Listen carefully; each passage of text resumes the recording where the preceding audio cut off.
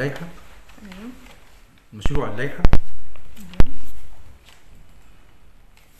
في حوالي 11 مادة مرجئة لمزيد من الدراسة.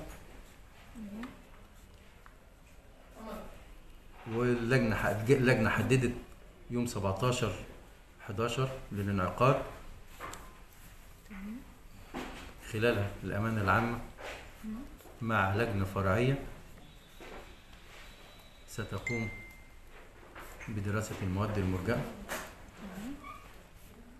واللي هي خاصة بمادة الاختصاصات مادتي الاختصاصات والشعبة البرلمانية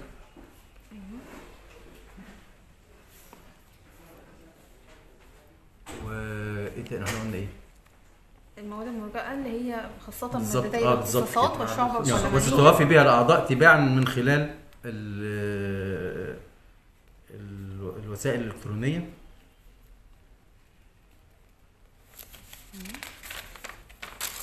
وستعرض الأمانة المشروع فور اكتماله على الجلسة في اجتماعها المقبل أو قبل ذلك لو تمكنت.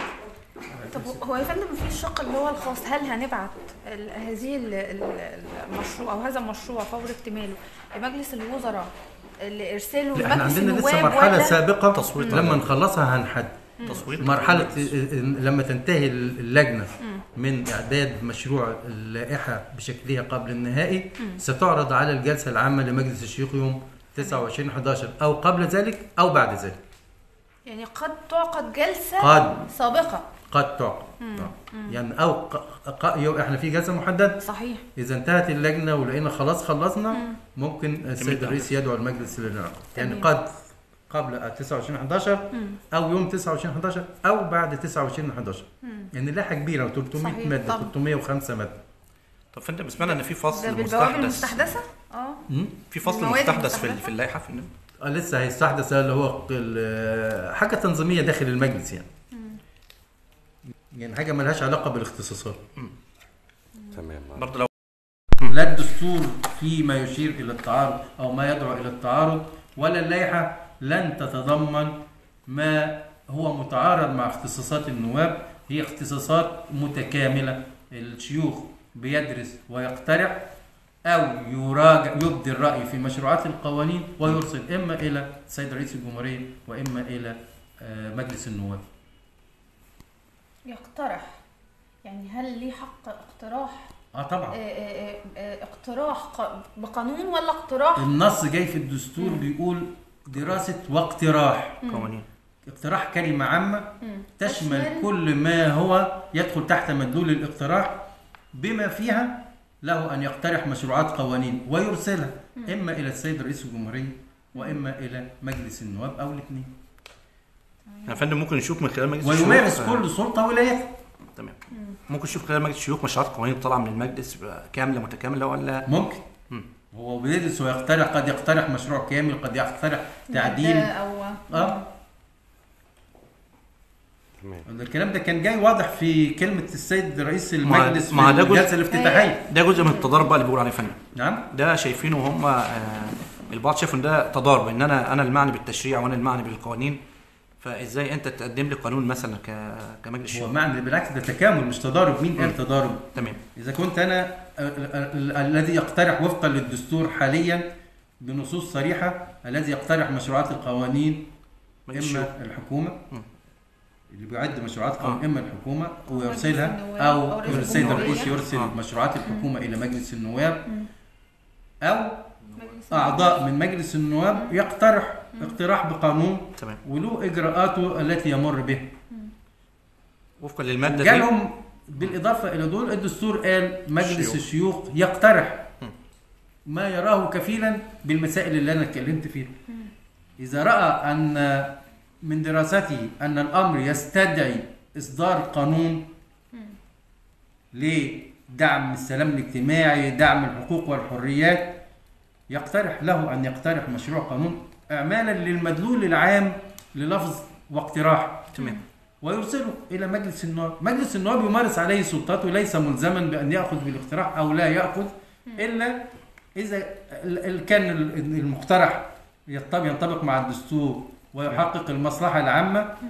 فمن هنا يعني مجلس النواب قد لا يرى ان هو يهمله يعني. اسمح لي بس خصوصا إن هو مقترح من مؤسسة دستورية. تمام. صحيح. مجلس الشيوخ ده مؤسسة دستورية. تمام. اسمح لي بس يعني أستوضح دي. يقترح مشروع قانون ولا يقترح قانون؟ ما يعني إحنا عندنا في مجلس النواب اقتراح بقانون يقدم من نائب آه، آه، ويحال للجنة الاقتراحات والشكاوي. مشروع قانون يقدم من أو بيحال من رئيس المجلس إلى هو الاقتراح بقانون مم. هو بيسمى يو- مسماه الأول اقتراح بقانون. لما يجاز من من لجنة الاقتراحات لجنة والشكاوي الاقتراحات يبقى مشروع قانون. يظل مشروع قانون صحيح. مشروع القانون يطلق على ما يقترح ده من مجلس النواب مم. وما يرسل من مجلس الوزراء وما يرسل من رئيس الجمهورية وما يقر مجلس النواب بصفة نهائية اسمه مشروع قانون. يرسل إلى السيد رئيس عليها هو الذي يصدر يصدر بعد أن يصدر. من رئيس الجمهورية يسمى قانون قانون اذا إحنا ما اقتراح